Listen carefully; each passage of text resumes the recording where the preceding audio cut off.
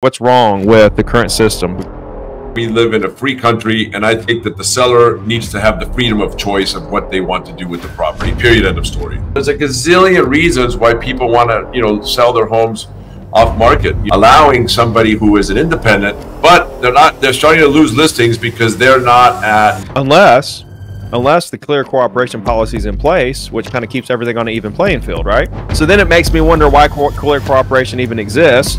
We're going to talk about all that stuff, man. It, it, there should be a free competition, right? Free competition makes everybody better. And when you create an environment of competition, you allow things to flourish and become better. The problem with competing against Zillow is that they lose so much money um, to try to compete with them. How is that better? NAR has been acting um, for themselves. The new rule changes with NAR, even the DOJ, I believe,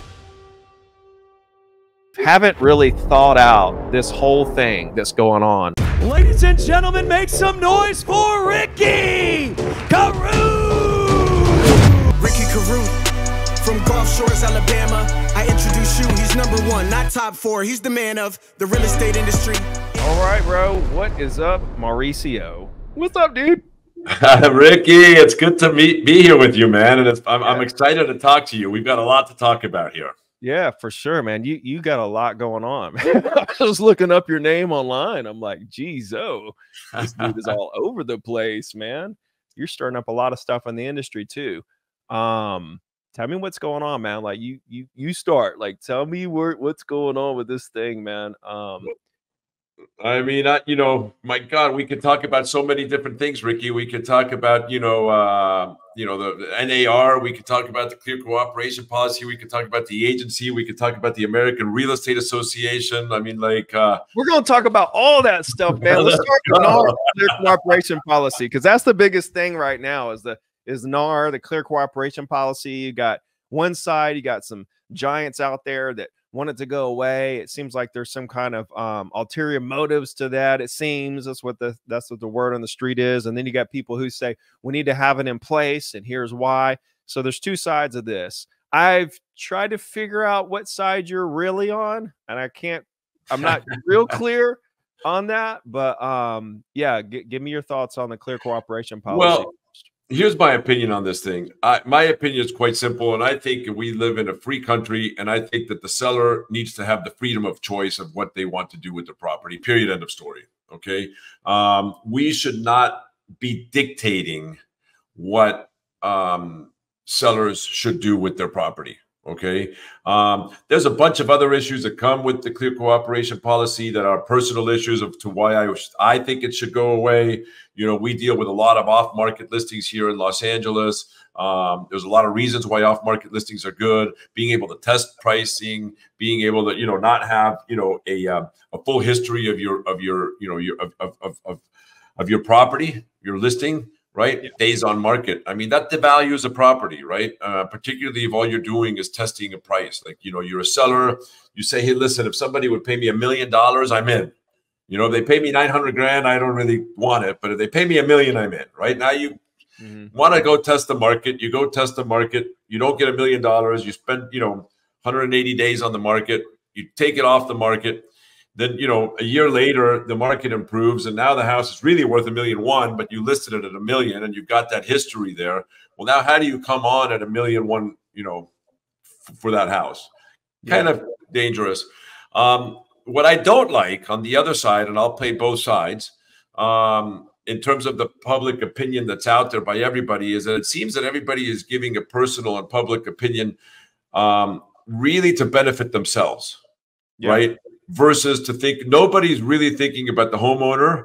And they, they claim everybody's standing behind thinking about the homeowner. Okay, NAR stands behind thinking about the homeowner, like you know, Fair Housing Act, Code of Ethics, blah blah blah. You know, it's all it's great stuff to talk about, but it's not necessarily what they're really doing. What they're really doing is protecting their own, you know, money making MLSs. Okay. Um, when Redfin and, and and and some of these other companies are saying, you know, it's uh, we should not have the clear cooperation go away.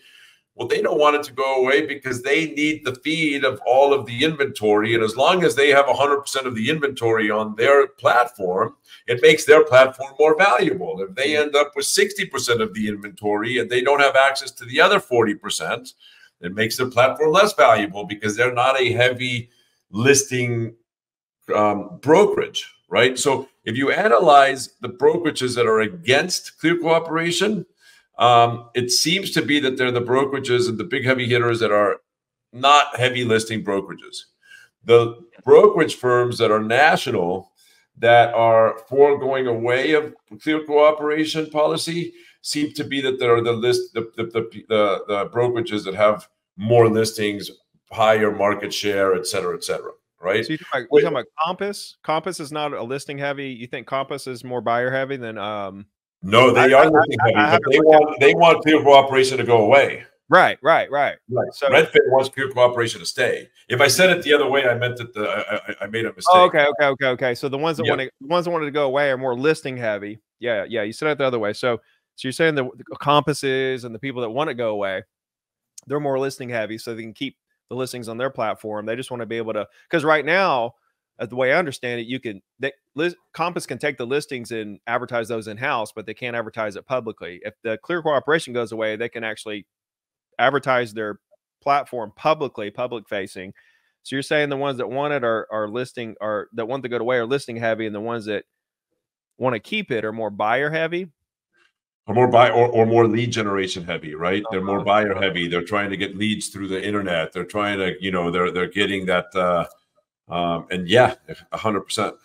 So, so, so if you got somebody that wants to test a, a price of a million dollars, okay, what's the process of testing that price outside of the market? Like not putting on it. Like, how do you test? How do you really know that it's a real test if it hasn't been exposed to everyone? I guess I'm trying to figure wrap my head around it. Well, you today you don't right? Because you haven't you you you have you you don't have that ability to expose it unless you put it on the MLS and you get you know days on market. Um, when we were when clear cooperation policy did not exist, um, you know, we had multiple different, you know, ag um, aggregators of pocket listings, right? We had the PLS.com, which I started, uh, which grew to 20,000 members, which allowed you to put, you know, to market your property off market, but without accumulating anything. Uh, mm-hmm. you as an agent, even if you didn't have that aggregator, you as an agent had the ability just, you know, in Alabama to email every real estate agent in Alabama and say, "Hey, I've got this off-market property. It's on the market for a million bucks." Mm-hmm. You could email them weekly, bi-weekly, or daily, whatever you wanted to. You could send right. that, emails. You know that you, you they might unsubscribe eventually, but that's a different. But but you were allowed to do that, right? Yeah, yeah. Um, and so you know by by doing that, you were not accumulating days on market. You don't have history that the house was on for a million dollars, but you were still reaching out to the entire brokerage community in Alabama um, to sell this property. And if the brokers told you, dude, this price is this house is overpriced, it's you know it's worth 900 grand, you can go back to your seller and say, hey, Mr. Seller, the house is overpriced. It's 900 grand. Now's not the time to sell for a million dollars. Let's just go off the market. Let's rent it. Let's do something. Enjoy it. Get get it out of your head, and let's move on to the next thing. Mm. So, I mean, you number one, you could do that in house right now, right? You could do that within the other agents of your only in house, only in house. But think about that. That eliminates the idea of collaboration within your own real estate community, right? Like it start it creates more competition. It does not do the best thing for the seller because the seller, what they want is full exposure, not just in house. And what about the independents of the world, the small companies? Okay, great. They have an off market opportunity, but they've only got three people working in their place. They don't have, you know, 200 people working in their mm-hmm. place. Mm-hmm yeah that's a disadvantage to them right yeah. and so now it starts becoming again more large company you know heavy um you know et cetera et cetera versus allowing somebody who is an independent has a great practice has been in the market forever people love that person okay but they're not they're starting to lose listings because they're not at you know a firm that has 500 agents mm-hmm, mm-hmm. unless unless the clear cooperation policy is in place, which kind of keeps everything on an even playing field, right? If the clear cooperation policy is in place, it keeps um, everybody at an equal playing field, but it takes away the decision of the seller to Mhm. decide how he or she wants to sell the They house. don't want that much exposure. They may not want that exposure. Right. You might have, you know, a client that is a celebrity uh, that doesn't want uh, people to see, you know, their houses in California, LA. Okay, um, we have a lot of celebrities. We have a lot of crime. Um, you know, if you talk to the police right now, they'll talk to you and they'll say to you, "Hey, make sure that all of your photos are taken off of the internet." You know, when you just bought your house, you can't do that. Like it's like it's it's out there um, you know, a ball player that might be thinking of leaving, you know, the Patriots to go to Tampa Bay. I don't know, right? uh, but doesn't want to tell everybody, right? Like, Yeah, like you know, uh, a divorce situation, a CEO. There's a gazillion reasons why people want to, you know, sell their homes off market. You know, I can also tell you that there is you know, th- th- there's a good argument why the fiduciary duty, you know, when, when, a, when a seller hires me, my fiduciary duty is to the seller, Mhm. not to NAR, yeah. not to anybody else, but to the seller. Okay. And if the seller says to me, I want to sell this house as quickly as possible, that's one thing. If the seller says to me, I want to sell this house for as much as possible, that's another thing, right? My strategy might be different depending on what the seller asks me to do, right? If they say to me, scarcity um, of listings and an off market offering might bring in more money than an on market offering. I can Mhm. make the contrary uh, uh, argument that being on the market and having full exposure might bring in more money than an off market uh, situation. But I can make, depending on the, on the listing, I can make both arguments. And all I'm saying is every listing and every property, they're not all created equal. They are all different and distinct, and they are ha- they have to have a bespoke program to them. And all I am saying is that that should be the decision of the seller, not of somebody else telling the seller what to do. Yeah. No, absolutely. I was just looking for this article because I saw this article a couple days ago. Let's see. NAR tells buyers they can. No, let's see. There was an article that actually stated um, that NAR said that they didn't. The sellers don't have to put their property in MLS. They just have to sign an extra disclosure. Um, where is? Oh, at? hold on. Yeah. I'll, I'll, I have that in my. I'll, I'll, I hope. Yeah, I, I saw that today actually, and I have it. But I have an argument on that. Hold on. Yeah, so so so I was thinking like, let's see, seller NAR tell sellers. I don't have to list on MLS. Yeah, that was the name of the article. So NAR tell sellers. Um, I thought it was interesting because if that's the uh, position they're taking, it kind of eliminates. It's like it kind of confused me because if I'll share it right here. Um, Yep. Uh, kind of confused me because I was like, okay, well, if we have clear cooperation and it means I have to put my listing on MLS within a day, then, but you're telling me I don't have to. Uh, perhaps a not ongoing clear cooperation policy. The fact she explicitly states that MLSs are a tool to help promote fair housing and equal opportunity by giving real estate professionals their clients clear, consistent information. Uh, sellers don't have to list through the MLS. A point of contention around clear cooperation is a requirement in most cases against uh, agents must submit listing to MLS within one business days. In its message to consumers, however, NAR appears to take a more flexible stance, telling sellers they do not have to market their home through the MLS, but still advising them to discuss the pros and cons with their agent. And if a seller chooses a different path, if you decide to have your agent not list your home in MLS, you may be asked to sign a document verifying that you, as the seller, have made this choice. Uh, NAR notes. Um, So I find that to be kind of cute, right? If you don't want to follow clear cooperation, you can always just not, you know, list on the on the only system that currently exists, mhm. right? So great, you can't list on the MLS, but there's no other system to, to list on. And oh, and by the way, great, you don't have to list on the MLS, but we're going to fine your agent five thousand dollars per occurrence for marketing it outside publicly if they're marketing it any other way than other than the MLS. So they're Mhm. kind of being very cute, not really going, you know, they're they're not telling the whole story um, of what the, the rules of, of, of clear cooperation say. now, of- if they want to amend the rules to, to what it says there, it's a different story. but those rules have not been amended yet. Right.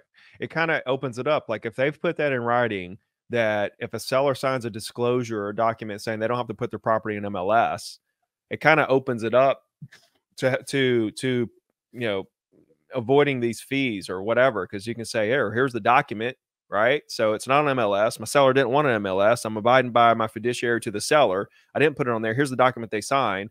So so you can't find me because this is actually your rule. So then so, so then it makes me wonder why clear cooperation even exists right if if that's the case um because that kind of goes I'm, I'm just confused right i'm, I'm the, the article confused me you know um well, I think I'm, confusing, not, Ricky, and I think the reason why it's confusing is because it's um, I, I, personally think, and this is my own opinion, and, and um, that uh, you know NAR has a new CEO.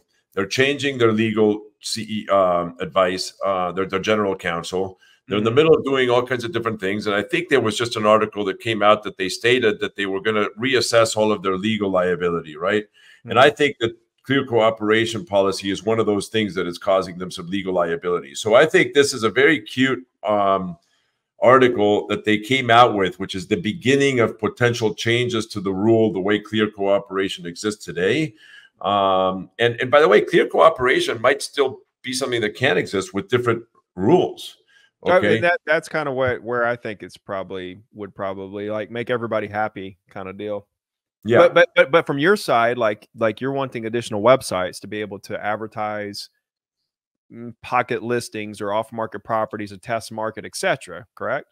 Well, here's my opinion on additional websites. Uh, number one is I think that um, it, it, there should be a free competition, right? Free competition makes everybody better. That's what the U.S. is built on, right? Today we have a monopoly. We have a monopoly of of NAR telling you where you have to list, how you have to list, um, it's the only act. it's the only systems. There's 650 plus MLSs around the country. Okay. Um, the aggregators are the Zillows and the homes.com and all of those people, and they aggregate, you know, systems. But these systems are antiquated and they're not improving. And the reason they're not improving is because there's no competition against them. Right. Whenever you don't have competition, you're not going to have things that improve. So you've got two issues. You've got no improvement on tech, on the user experience, number one right? And you potentially have, you know, um, you could probably, you know, decrease um, rates and decrease uh, subscription costs if you had, you know, better systems that were not monopolized, right? And so that would make us agents spend a lot less money uh, and give us a better product. I think, uh, I think like with Zillow, they have competition, right? Homes.com is has kind of come into the picture, and they're actually gunning for them and everything. Um, so I find it interesting, and I think that has made Zillow kind of squirm around just a little bit to try to figure out how to combat that. I think I think the problem with competing against Zillow is that they lose so much money. I don't think anybody wants to go out there and lose that much money um, to try to compete with them. Um, nobody, I don't think anybody says that you can't go out there and be a Zillow, though, right? Where you could actually syndicate from the MLSs, take the eyeballs, and start you know advertising the same way that they do and build the same type of business model and make it better and better correct correct but are you allowed to compete against the mls's mm-hmm. mm-hmm. right that's the big question you can compete against zillow you compete against homes.com we all do every brokerage has its own idx feed right we all have them we all have the ability to compete today. We don't have to do anything different to, to compete by them because so all the only so, thing Zillow and Homes.com are doing is competing for the market and for their fair market share of leads, right? Lead generation that's occurring mm. right? Buyers, sellers. That's all they're doing. So if I could capture, you know, all of their traffic onto my website, the agency website, um, then I, you know, I, I could do that today. I have the same information today. Compass has the same that, that Zillow has. We all right. have that, all that information. Right. So then how do you make it better? Like, or, or what, I guess what's broken, like what's wrong with the current system? Because right now, like as it stands, it seems like any buyer can basically go to one portal and see just about every, a good bit, most of the homes that are for sale. Versus if this thing kind of broke up, you know, they wouldn't necessarily have access. Some homes would be over here on this site, some homes would be over there in this brokerage, some homes would be over here. It'd be kind of hard to piece it all together and actually understand what's available for real. And it might even some argue that it would create situation where I'm just trying to poke holes in it because because I want to know. Like some people say that it could be discretionary. There could be things where like people that that don't have access to this or that, you know, wouldn't get to the house, and it would kind of start to get into a fair housing kind of deal. What um like like I guess how is that better to take away a system where most of the homes are in one spot for any buyer, anybody can really see, versus taking that away? It, it seems like I mean, in the world that you envision, is it kind of broken up, or is it still like in the one spot somewhere? Like the information. I, I, I, envision everything on one spot. I think right now it's broken up. I mean, we do have the aggregators, but I envision something else. But um, Ricky, to tell you really my vision on that, I'm going to have to take you offline on that one. well, well, okay. Um, okay, that that's fine. Um, divert the question uh, but, but you see where I'm going, and we can talk about it offline. But like, but like, if if if in essence, you know, like a, it seems like a buyer would be at a disadvantage if they come to you to buy something and you've got all great listings or whatever, but you don't have every listing. You'll never have every listing, right? And if and if we're in a system where things aren't in the in, all in the same spot, then that buyer may not even there may be the house that they love. That's this is the argument, right? Um, and there may be a disadvantage there. And then if we do create another system, okay, that's better, let's say it's better, but it's still all in one spot, well, then we just created another monopoly, it seems. Um, you know, so there's just a lot of there's a lot, it's almost like this. It's almost like the fact that the lawyers and the plaintiffs and the, even the DOJ, I believe, haven't really thought out this whole thing that's going on with uh, the new rule changes with NAR, with um, you know trickling down everything through the different associations. Um, like who's going to be liable, who's not. I mean, like for example, the associations where agents aren't required to be a member of NAR. Okay. Well, you're not yeah. required to be a member of NAR. And so you're part of the MLS, the local board, but you're not a part of the National Association of Realtors. Therefore, you're not necessarily covered in the settlement right? But you're still part of the local board, which has to abide by the rules of the National Association, but you aren't required to be a part of. Therefore, you're not like there's so much stuff that I don't believe has been actually thought through. I think I think that the issues that we're talking about are so complex. You know, when it comes to this commission thing, what we're talking about when it comes to NAR and Zillow and the associations and everything else. I think it's such a complex issue that it will literally take decades to even honestly wrap your head all the way around it. We can put uh, things in place that we feel like are good or going to be better or whatever, but once we go out there, it's just a test to see what will happen. And then and then all these other problems kind of come up. It just seems like there's a, a lot of um un, un, un, uncertainty, you know, that around all of this stuff. Uh um, for, from an agent standpoint, like it doesn't matter to me, dude. If you look at sales for agents, it hasn't even been a blip. Like agents are the most resilient people in the world. They're out there just crushing it, killing it. They don't they'll get a little extra document signed. They're just killing the game. All this stuff doesn't really matter when it comes down to their business. They're going to go crush it regardless. Um, but it does affect like how they're going to operate, you know. And I don't. I, it's just hard to say like who's really looking out for them. You know what I mean? That's what I think. That's what I sit back and think. Like, is NAR really looking out for them, or is the DOJ? Is is are you or like like who's really in the agent's corner, right? And then when you get in the agent's corner, it's like, well, who's in the customer's corner? There's just so much. It's so complex. It's so complex. You're so right, um, and there's so many differences. I think that you know what's interesting is that we're finally going through changes. Okay, we have been under a monopoly. The reason we have the mess that we have is because we have been under a monopolistic environment since the late 1800s, right? 1892 or whatever the date is, right? Um, the reason there's 653 MLSs is because they're protected. And you are correct. We want all of the stuff being in one one one uh, repository. We want access to everything, right? But what I'm suggesting is not who what I'm suggesting is let the best business win for that repository. Don't protect them. Make the experience better. Okay. Make the data better. Make the uh, sharing better. Make the collaboration better. Like there's technology right now that we could be using to make all of that experience better for the customer, better for the agent, um, just better. Period. And by the way, if it's not, if the MLSs win, they win. If the if uh, um, it, it's this isn't about winning it's about creating an environment of competition which is what our country is built on and when you create an environment of competition you allow things to flourish and become better. Okay. Mhm. Um, so I am not suggesting that you have to go close up these people. What I'm suggesting is you have to allow for competition to exist. Mhm. Okay. NAR has been acting um, for themselves. They have not been acting, in my personal opinion. Maybe they started off as an advocator and a lobbyer 120 years ago uh, for you know agents, National Association of Realtors. Right, realtors are really agents. All they did is coin, trademark the name realtor, and now we're all realtors if we belong to National Association of Realtors, and if we don't, we're real estate agents. But at the end of the day, we're agents. We're salespeople, right? Um, and um, they may have started off protecting us and working for themselves, but even when you look at the settlement, okay, the majority of the people, the majority of the agents in the country work for the large brokerage firms. That's why they're the large brokerage firms, okay, because they house the majority of the agents in the country.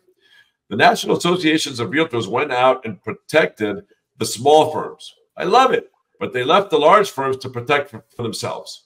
Okay. All the large firms are out there right now, you know, settling this lawsuit. I think we've all had to settle. I'm probably the smallest of the large firms. I just finished settling um, two weeks ago or three weeks ago or whatever that is, right? Um, but all of the all everybody went out and paid humongous dollars.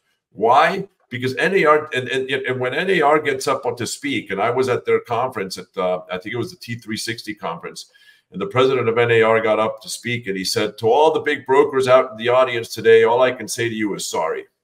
We tried hard to um, we tried hard to to uh, um, to settle this for everybody, but uh, we couldn't. And I'm sitting there scratching my head. I'm like thinking to myself, well, wait a minute. You still have a lot of money in the bank. You're bringing in 110 million dollars a year.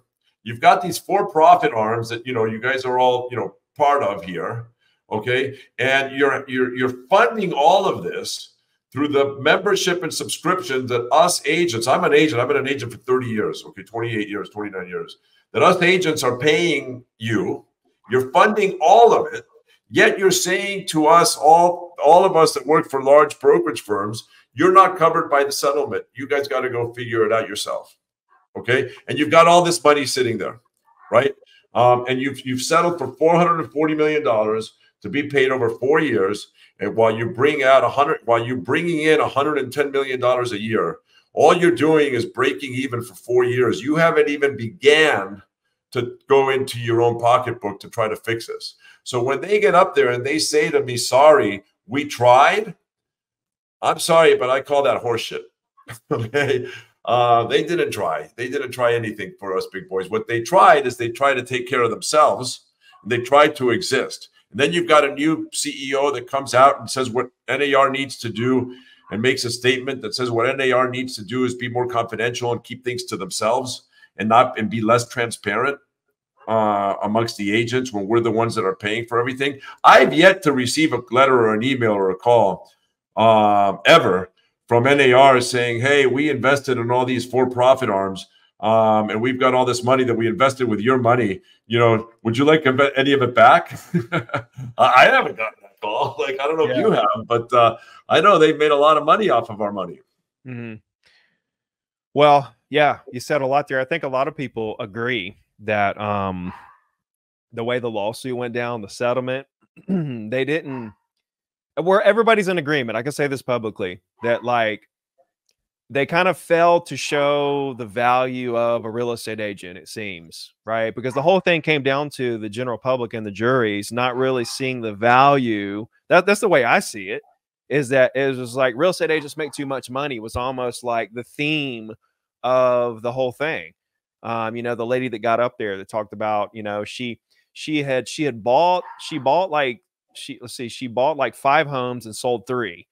It was like, well, you bought five and basically it was figured in and you you got representation figured into the price you don't have to worry about it you know? Yeah you paid five or six percent or whatever you paid on your three but you you bought five and when your when your kids become first time home buyers they don't know anything about buying a home now they're going to have to figure out how to pay that side of it if in fact you know i mean it's just it was really weird. The whole lawsuit and how it went down and the lawyers rebuttals and stuff it just doesn't seem like it was well thought out as much time as they had and money that they have for legal and everything.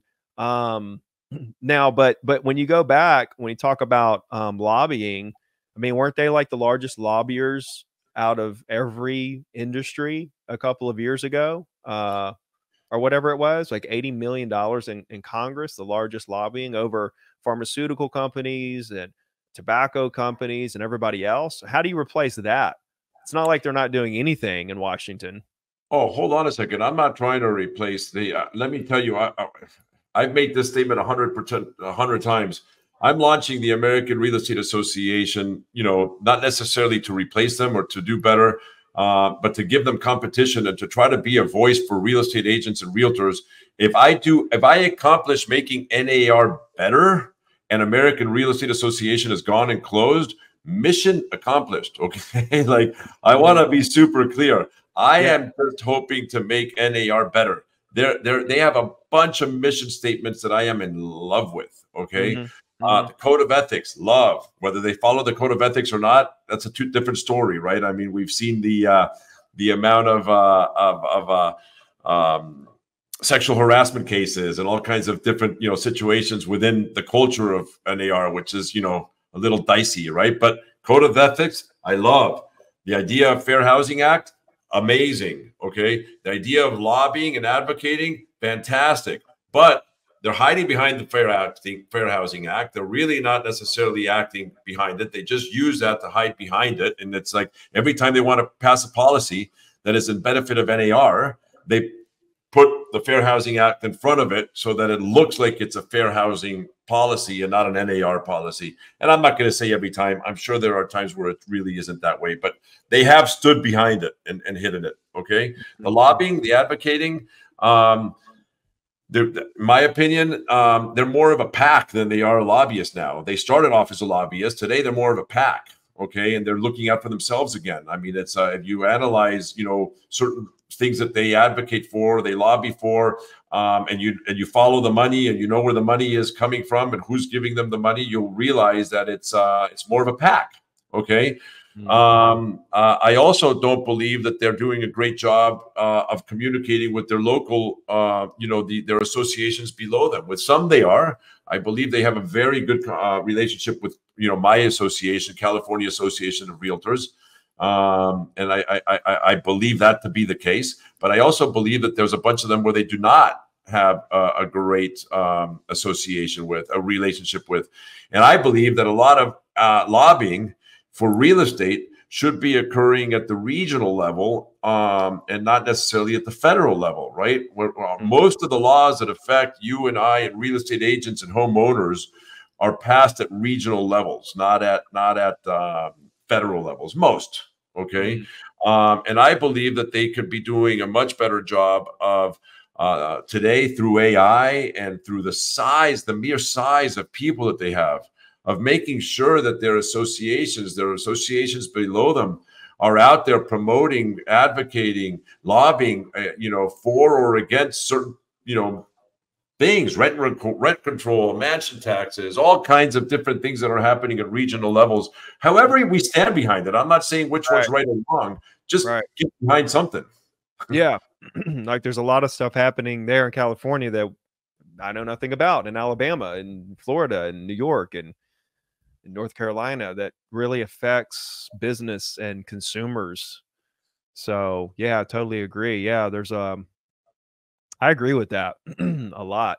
Um, I don't know that there's any lobbying really being done um, on our behalf regionally. Is there?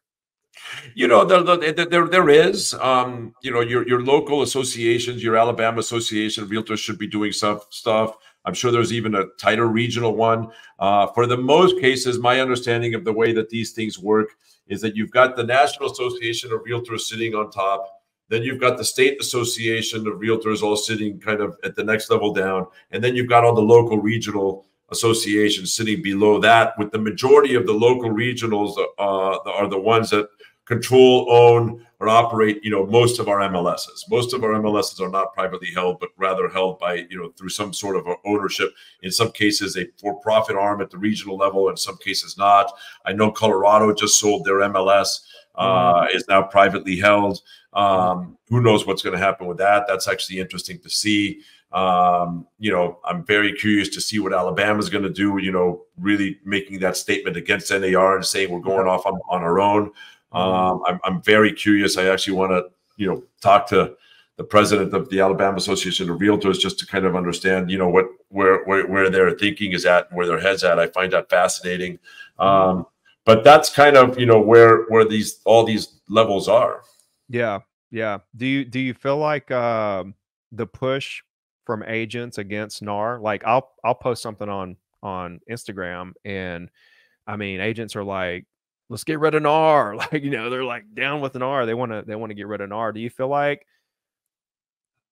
they don't they're just looking at the bad that they're not it, it, it reminds me of it it almost reminds me of the play of the of the jury and the plaintiffs in the case right who who don't realize what we do for them it, it almost reminds me of the same situations that agents yeah there's some things NAR needs to get right and i'm glad that you're coming through trying to make them better but there's a lot of things that they do that are good they just need to they need to they need to re they need to rework their whole situation.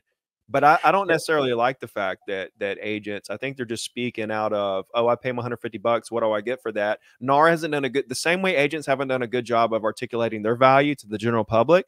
I don't think NAR's done a great job at articulating their value to agents. And I feel like agents are almost in the same boat as the general public is, uh, the way they look at you know agents. So um do you feel like that that they should be pushing like that against or do you feel like we need to educate them more so on? And what is the american real estate association like what are you trying to do uh, with that? Because like you say you're not trying to get into the lobbying part or the the this that or the other. You just feel like there needs to be some competition in certain areas. Where exactly is american real estate association fit in all this? Well you you you've, you've asked me a bunch of questions in that one question I'll try to address them all, and wherever I fail and I forget, bring me back. Ah, no problem there. But uh, let me start saying that um, philosophically speaking, um, the public, agents, people are only look at the bad of situations, the bad of organizations, the bad of people, the bad of X, the bad of Y, the bad of Z. Um, and we, uh, uh, and that's terrible Okay, like it's just just a bad way of living, and we just we, human nature. Know, is what you're saying? It's human nature, yeah. right? Um, organizations, people, et cetera, et cetera, have to do the best we can in order to get people to see what we're doing good and not just focus on the bad. Okay. Um, and and I just, you know, I think that it's it's imperative that, you know, that that we as people just start, you know, if we could do that, we'd have less wars, we'd have uh, less conflict in our country. Um, you know, there's just a bunch of things, you know, but right now it's just, it's, you know, with Instagram and with social media and with all of these things where we're literally, we're becoming a country that reads headlines and no longer reads below the headline. And the problem with that is that a headline says nothing other than, you know, get you to pay per clip and get you to do something. You know what? You know what's even sadder? Nowadays, the articles don't even say anything below the headline. True that. I agree with that too, by the way. Like you read, the, the, headline, you're like, oh, okay, let me see what this is. They literally say nothing. It's like you're so right, Ricky. Wow. It's, uh, yeah, it's so right. Um, now let me talk to you about the American Real Estate Association. No, we intend to lobby. We okay. intend to advocate. We are not just uh, there for competition. Uh, our our intention of the American Real Estate Association is to lobby and advocate um, primarily at regional levels. So try to get things into the regional levels. Um, you know, we've been uh, we we still have limited resources, so we have to be very cautious about what we're doing. I mean, Jason Haber and myself, um, you know, did the majority of the funding for this thing, you know, just out of our own pocketbooks. Um, and this is a 501c6 foundation. There's no money in this thing for us. There's nothing going, you know, like this is not a. We don't have a for-profit arm. uh, um, yeah, we we have had a, a, bunch of real estate agents now join the American Real Estate Association, so it's given us a little bit more money as well. Um, but we are 100% there to lobby and to advocate. Um, you know, we we we we made a strong stance on uh, the veterans' uh, um, uh, ability to borrow, and we sent uh, uh, letters to Fannie Mae and Freddie Mac, and uh, and we were able to get them to change the, their policies and, and, look at the policy with Veterans of America, which is very important to us. Um, we looked at uh, we made we're making a stance on clear cooperation policy right now, um, but more importantly, we're trying to um, create some technology through uses of AI that really allows us to see, get insight into all regional across the country um, um, measures or propositions out there that are there to uh, affect real estate in, in their local communities. And we're trying to make sure that the local association of realtors, we're working with the local associations of realtors. We, we're hoping that we can make sure that they understand what's in their, you know, their, their, their, the propositions, what measures are, you know, being, you know, enacted or passed and taking a stance on them. So, you know, we're hoping to do that. We're trying to use AI. We're building tech in order to do that. Um, we believe in in in in um, in, in uh, education, uh, continuing education, uh, and we believe that you know we, one of the things that we'd like to do, and you know it's going to be controversial, is we'd like to make licensing for real estate agents more difficult. Uh, we'd like to make licensing for continued education more difficult. We'd like to make our industry a little bit more of a higher standard of an industry in order to get into, and not just being able to go get your driver's license. Mm. Um, and so, you know, I think that'll help elevate the advisor.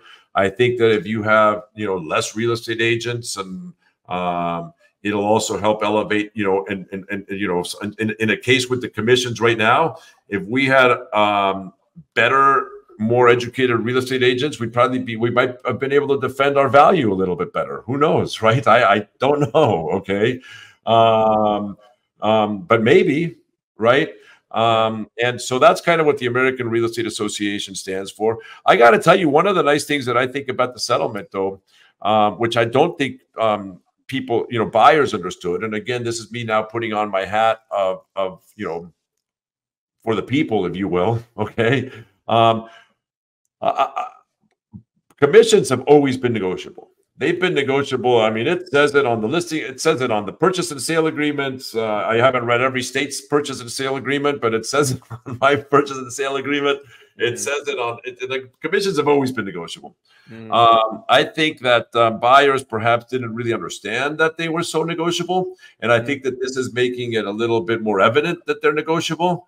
Um, and I have no problem with full disclosure, right? But they were always kind of they were always negotiable, but the but the seller was primarily the one negotiating them, mm-hmm. not the buyer, right? Um, even though the buyer, I mean, I had many cases over the past ten years where the buyer would say to me, "Hey, you know, uh, kick me back some commission," or you know, charge me less or do mm-hmm. something or is there anything I, have had many many conversations yeah. plenty of buyers knew that commissions were negotiable okay yeah. i don't think that the legal team at nar did a good job you know explaining that buyers have always had the ability to negotiate but that's a different conversation that that sale that that that that, that is gone nothing we can do about that um, but i do think that having that um, that that um, openness and transparency uh, is important. I think transparency is is great for everybody if you know how to communicate, you know how to storytell, and you know how to do that, you know, with with with um, empathy. Mm-hmm. Uh, and I think that that's one of the things that if, if if you say to me, Mauricio, how can we make NAR better, and how can NAR turn going back to your original question how can nar make us real estate agents not feel like we like this should be the end of nar uh, message to nar have empathy for us okay? Mm-hmm. be more transparent with us. Tell us what you're doing with our with our funds with our money. Tell us what's going on out there. Tell us what you're doing to work for us right? You're what it's one thing. You have you have a monopoly of all of us. What are you doing for us? Yeah. Um, and i think you know there's a great opportunity for them to turn around nar it's it's a, to build something like nar again it'll never happen. It's the largest association in the country Mm. Um, it's larger than medical, legal. It's it's number one. Yeah. Um, it'll never happen again. So I think there's a great opportunity for them to turn it around and to mm. uh, and to um, make it good. Um, you know, so yeah, I, I I think that they need to learn how to do that though. But you know, having I don't know how many people are on their board, over a thousand people or something like that. You know, having a thousand people on your board, having uh, the systems that you it's it's inefficient. You know, getting up there and saying, you know, that what we need to do is be less transparent, that's not the way you you're going to win over your your your your your paying members. What were they saying they needed to be less transparent about? That was when when the CEO uh, uh, took over. Um, I forgot her name. Um, she got up on and her first speech. She said, "We need to have less transparency at NAR. We need to stop telling everybody what we're doing. Stop telling mm-hmm. agents what we're doing." I'm like, this is an opportunity to get up there and be like, what we need to do is we need to be more transparent, more empathetic, and and get the real estate agents who are our paying members to understand what we're doing for you guys, to understand how we're working for you guys. You know, open up a hotline, open up a, an, an, opportunity. Like here I am. We are the National Association of Realtors. We're the largest, most powerful association in the world, and we're here to represent you, real estate agents, you realtors. Mm-hmm. Okay. We want to have this line of you know openness. We're going to be super transparent. No, she did not get up there and say that. She got up there and said that she was going to be um, you know, that, that NAR should be less transparent yeah. start hiding things. I, I don't know how you do that. Like, why yeah. would like it's a it's a non-for-profit organization. It's not a private organization that you're allowed you have the right to be less transparent. Yeah. Yeah. I think you have the duty to be more transparent. I, I agree with that. One thing I, I whenever they took off the uh they took off their website the number of agents, right? You know, remember they have that historical data where you could go back every month and you could see exactly how many members they had going back like 10 years or something. Well, they took all that off, I guess, about a year ago or whatever, or six months or eight months or whenever it was. Whenever, um, I guess maybe they lost some people and they didn't want people to know about it or something, you know. But but I always like to see that, right? Because it gave me an idea of where we were as an industry in terms of how many agents and stuff. And I didn't appreciate them taking that down. Um, they've got some problems. They definitely do. But like you said, this is an opportunity for them to turn it all around. And I'd love to see them start taking some steps. Um, from what I understand in the settlement, if you're not a member of NAR, then you're not going to be um, covered in the settlement. Is that the way you read it? That's the way I read it. So, so, so essentially, if an agent leaves NAR and say they want to replace that relationship with the American Real Estate Association, how do they ensure any kind of protection against litigation when it comes to you know anything in the future concerning these cases?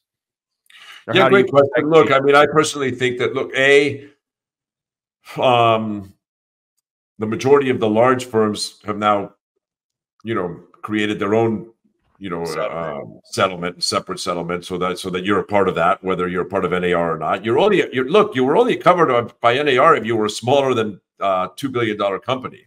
Okay. Mm-hmm. Um, so everybody else wasn't covered anyway. So forget about the American Real Estate Association. The majority of the people in this country, the 1.3 million agents, were actually not covered by NAR by the settlement. The majority, the grand majority, right? Mm-hmm. Um, so the grand majority are now covered by their own brokers going out and creating their own settlements, not by NAR, but mm-hmm. by their own brokers. Mm-hmm. Okay. So if you go to the American Real Estate Association, you're going to have um, the same um, coverage that you have now. Additionally, keep this in mind. We're, we've all changed our practices. That lawsuit and that liability should no longer exist. Right. right? I mean, well, so, it does. There's a lot of people still doing still doing things the old way. Well, they should change. yeah. That's yeah. a different conversation, yeah. right? Like, I yeah. mean, the truth is, if you're still doing things the old way, I don't know if you're covered by the settlement anyway. Like, I mean, the, the only way to be covered by the settlement is if you change your practices. I think. I mean, I, I, I like, you know, so right. So if, if that's your concern, then you know, oh yeah, of course. that's a whole different conversation. But yeah, from what I understand, there's still a good more than fifty percent, I think, or something like that. I was looking at data, trying to figure out how many people are still doing it the old way um and there's quite a few still still doing it still doing it that way and or you know sellers offering buyer agent commissions um but it, it will it will vanish like it will it's just it's it's 40 years of the way we did business it's going to take more than a couple weeks to to reverse it and do something completely different i guess man the only last thing for me to you is i'm just kind of wondering at this stage that you're in why in the world would you do, would you want to do all this to yourself? I mean, you got all the money God could ever want you to spend. You got, you know, everything you should, you want in life. This seems like you just did a, a coaching company. I think it was like, you know, something 20 30 bucks a month you got you know this going on you're the american real estate association you're doing all this and that what what drives you to keep doing these things because i mean it's i i don't know that i would if i were you I love you for saying that. Number one is I've got fire in my belly. I don't know how to sit back and relax and do nothing. I'm not a couch potato. I just don't know how to do that. Number one. Yeah. Number two is, uh, you know, when I became a real estate agent 29 years ago, I had nothing. I had no money. I was living in a two bedroom condo with three kids and my wife, and we were clipping coupons. Okay. This industry has given me a lot, and I took a lot. I, I made a lot of money on out of this industry.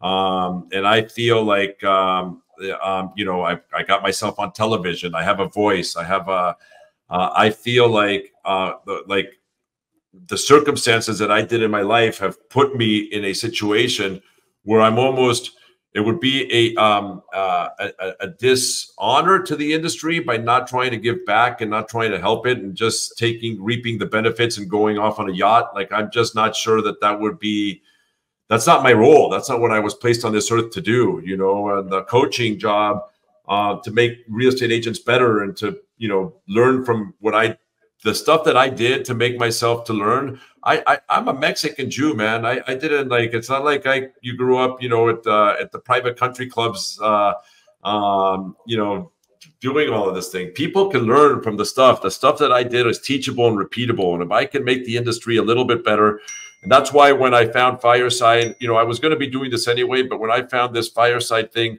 and I realized that I could do it for 20, 30 bucks a month um, and make it accessible to everybody, um, like that just got super exciting. You know, that was like, you know, rather than charging $5,000 or, you know, I mean, the, the, coaching out there is super expensive. I took a lot of it, by the way. I learned a lot of it.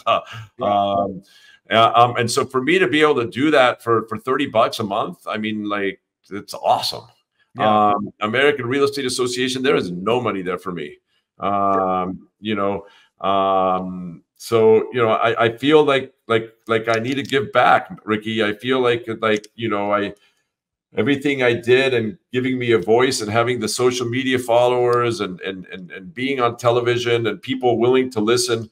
Um, it would be an it would be unfair justice to not give back to an industry that that gave me so much. But just tell me, Rick, I'm still going to Greece. I'm still hanging out. I'm still chilling. I'm still having fun. I'm good, man. Don't worry about me. Oh, you can count on balance, baby. I'm always having a good time, and that's what it's all there for. I mean, uh, you might see a coaching job from a boat one day. I have no idea. Like, uh, hundred percent, the beach will be in the background. It's not always going to be Napoleon Bonaparte behind me here. cool, man. Well, good to see you. Thanks for spending some time with us. Um, you want everybody to just follow you on Instagram or? Yeah, follow me on Instagram if you want at mumansky18, uh, mumansky18. And if you're interested in the coaching, it's uh, the munetwork.com. Sign up, the munetwork.com. It'll be a uh, once a week coaching, um, four times a month. I'm sure I'll skip, uh, you know, I'm sure it'll be 48 or 46 weeks, not 52, but uh, join and, uh, and looking forward to seeing you there. Cool, Grant. I appreciate your time, man. Thank you for your time. Really appreciate it.